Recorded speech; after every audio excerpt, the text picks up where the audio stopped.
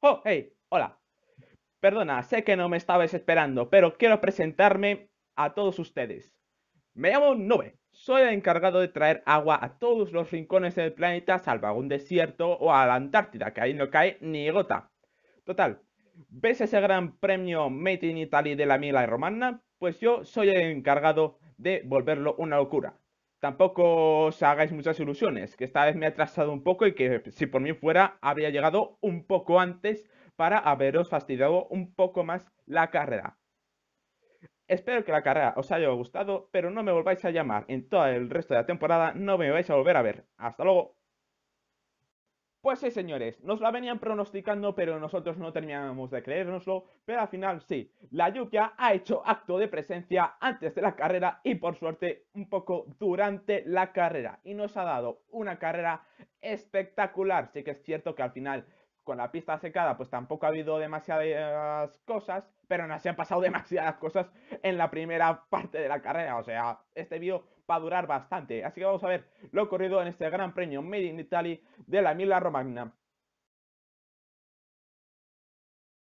Antes de empezar la carrera y con la pista ya mojada, frenando al fondo, que nunca mejor dicho, se salió en la escapatoria más lenta del circuito y se estampó contra el muro, rompió la delantero, pero pudo sacar el coche de la puzolana, sacando a reducir sus experiencias en el Dakar y regresó a la parrilla para la carrera. Antes de la carrera también la Sestro tuvo unos problemas en los frenos, que tuvieron que estar haciendo reparaciones antes de la carrera, y Sebastián Vettel tuvo que empezar desde pit lane. Y ahora sí empezó esta pedazo de carrera.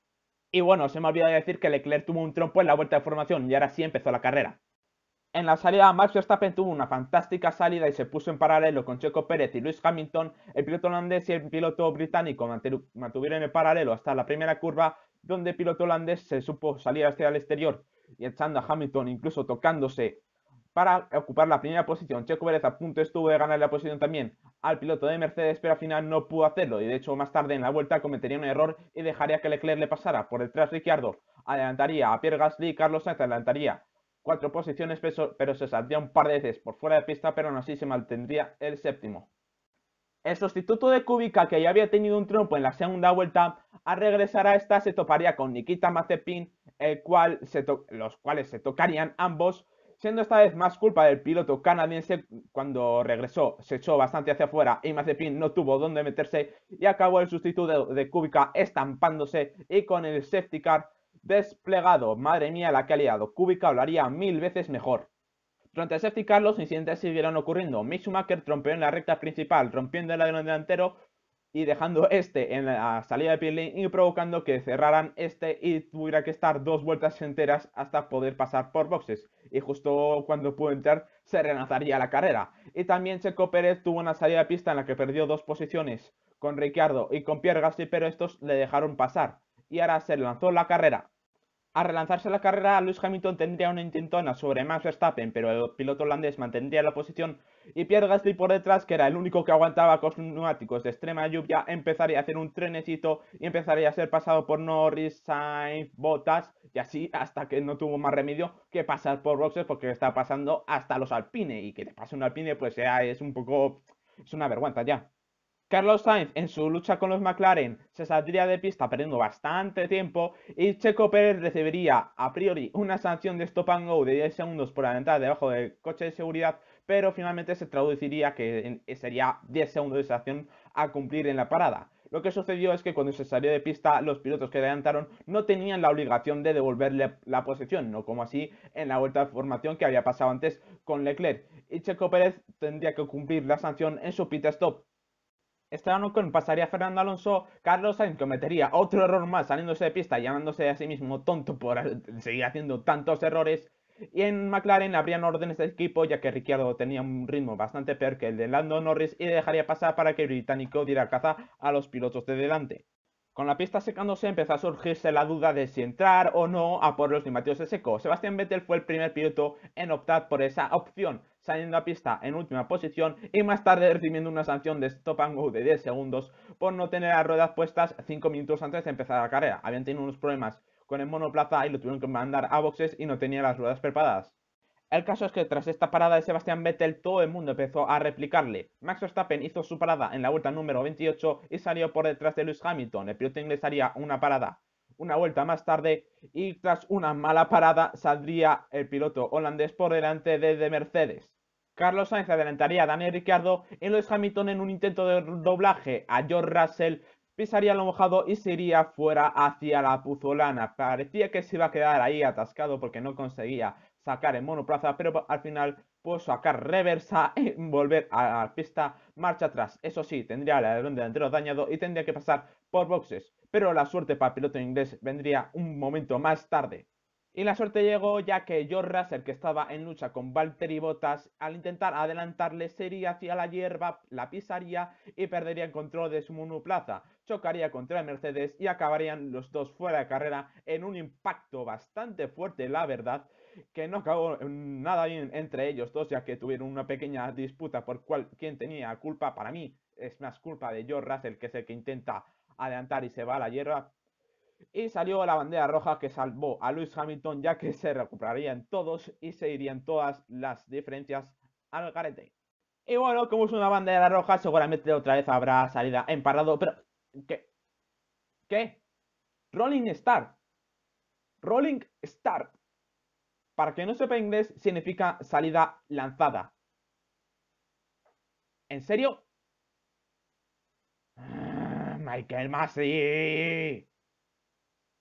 En fin, se relataría la carrera en salida lanzada.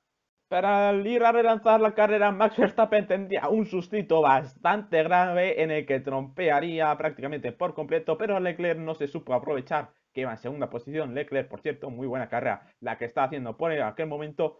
Podría haber aprovechado Leclerc ya que estaba fuera de pista y haber adelantado como habían hecho con Checo Pérez antes, pero al final no supo aprovecharlo y encima cuando se relanzó la carrera, Lando Norris acabó adelantándole. Habría mucho lío por detrás con pilotos saliéndose por fuera de la pista y con Yuki Tsunoda que era el piloto que tenía justo por delante de Lewis Hamilton trompeado y una vuelta más tarde Checo Pérez cometería un error en la curva número 5 y trompearía yéndose muy lejos en la grava y pudiendo regresar, pero en última posición, dejando a Alonso en zona de puntos, pero temporalmente, ya que tenía muy mal ritmo y pronto le pasarían Ocon y Pierre Gasly.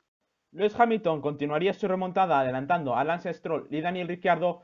A Checo Pérez le costó muchísimo adelantar a Sebastián Vettel, llegando a volar incluso por las bananas de la curva 2 y causando algunos daños seguramente al fondo plano, pero hasta ahí llegaría ya que se uniría al trenecito que empezaría a montar Kimi Raikkonen con Alonso, Ocon y Pérez detrás suya y no conseguiría recuperar ninguna posición más. La lucha por el podium estaba muy intensa. Lando Norris, que tenía una estrategia distinta a los pilotos de Ferrari, empezaría a sufrir un poco con sus neumáticos más blandos que los pilotos del rojo.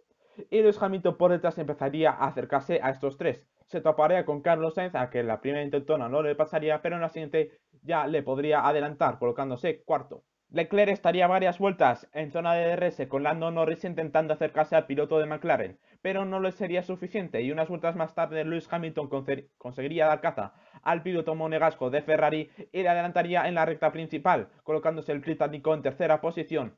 Pierre Gasly tendría una excursión por fuera de la pista y tras unas vueltas intentando aguantar Lando Norris las intentonas de Lewis Hamilton con un ritmo claramente inferior al de Mercedes, a tres vueltas de final el piloto británico de las flechas plateadas pudo, pasar a Lando Norris y se colocaría en segunda posición.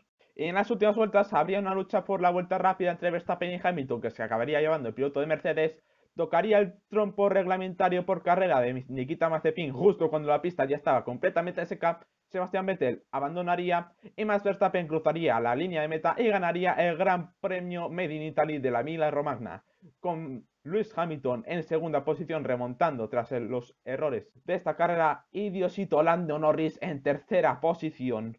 Carrera prácticamente perfecta de Max Verstappen que con las condiciones complicadas se ha sabido llevar su victoria número 11 y se coloca tan solo un punto de Lewis Hamilton que gracias a la vuelta rápida que se ha llevado el piloto inglés se mantiene líder del campeonato. Buena remontada de Lewis Hamilton, que a pesar del error consigue sacar una segunda posición. Y como no, grandísimo carrerón de Lando Norris, que a pesar de los errores que cometió en clasificación que impidieron salir en tercera posición, lo enmendó en carrera, llevándose la posición y haciendo una auténtica remontada, teniendo bastante más ritmo que Ricciardo.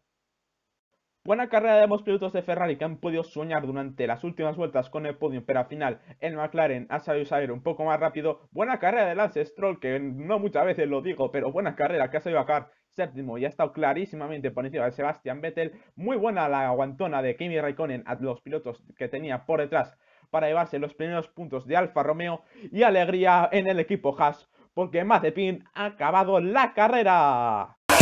¡Que comience la fiesta!